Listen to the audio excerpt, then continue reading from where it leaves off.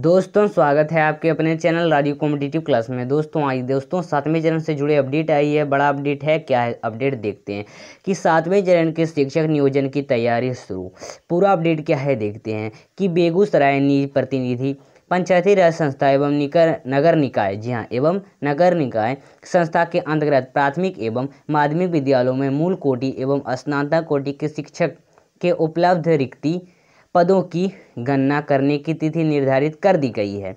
और आगे है कि 30 जून तक विद्यालय या, देखिए नियोजनवार जी हाँ नियोजनवार रिक्ति प्राथमिक शिक्षा निदेशक की देन है। देना है और पंचायती राज संस्था एवं नगर निकाय संस्था के अंतर्गत प्राथमिक एवं माध्यमिक विद्यालयों में मूल कोटि एवं स्नातक कोटि के शिक्षक के रिक्त पदों पर नियोजन की कार्रवाई प्रारंभ की गई थी।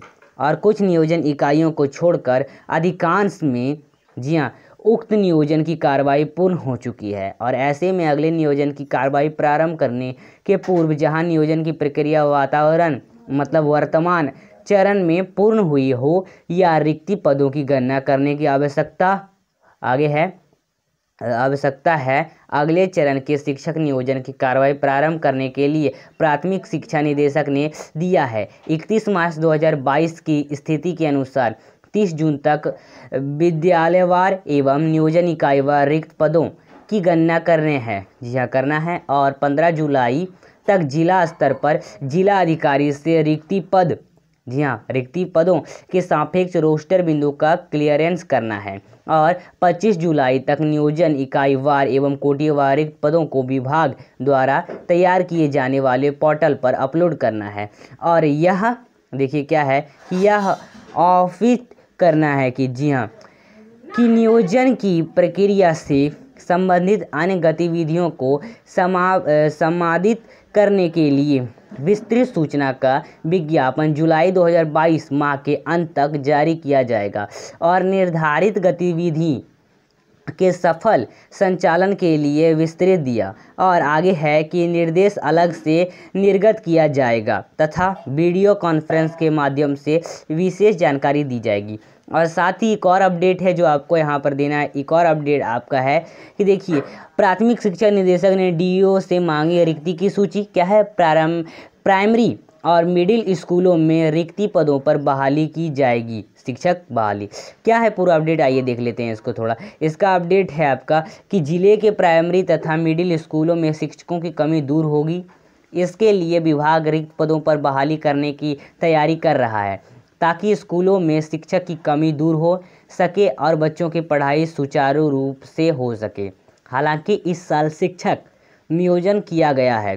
और फिर भी बड़ी संख्या में शिक्षकों के पद रिक्त रह गए, गया है। और आगे कि इस संदर्भ में प्राथमिक शिक्षा निदेशक रवि प्रकाश ने जिला शिक्षा पदाधिकारी तथा जिला कार्यक्रम पदाधिकारी स्थापना को पत्र भेजकर रिक्ति के संदर्भ में जानकारी मांगी है। प्राथमिक शिक्षा निदेशक से कहा है कि विभागीय अधिसूचना संख्या कितना तो 864 दिनांक 5 जुलाई 2019 के द्वारा पंचायती राज संस्था एवं नगर निकाय संस्था के अंतर्गत प्राथमिक एवं माध्यमिक विद्यालयों में मूल कोटि कोटि के शिक्षकों के पदों पर नियोजन की कार्रवाई शुरू कर गई थी, शुरू की गई थी और 31 मार्च 2022 की स्थिति के अनुसार विद्यालय एवं नियोजन इकाई रिक्ति पदों की गणना 30 जून 2022 तक करेगा।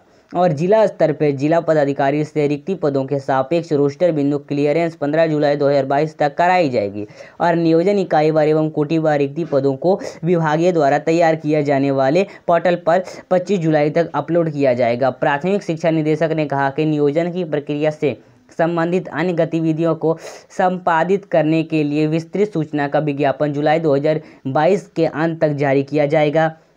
और आगे वीडियो कॉन्फ्रेंसिंग के माध्यम से डीईओ और डीपीओ को आवश्यक दिशा निर्देश दिया जाएगा। इस तरह ज़िले के प्राइमरी तथा मिडिल स्कूलों में शिक्षकों की कमी दूर हो जाएगी और ज़िले के कई स्कूलों में शिक्षकों की कमी होने की वजह से बच्चों का पठन पाठन प्रभावित होता है, कारण कि एक शिक्षक को एक से अधिक क्लास को एक साथ मिलकर पढ़ाना पढ़ाना पड़ता है। तो ये आपका दो अपडेट है। दोस्तों, सातवें चैनल से जुड़ी अपडेट हमारे चैनल पर पाइए। चैनल को सब्सक्राइब कर दें वीडियो सुनाई नई वीडियो को लाइक कर दें। फिर मिलते हैं अगले वीडियो के साथ। अगला वीडियो लेकर अगला अपडेट।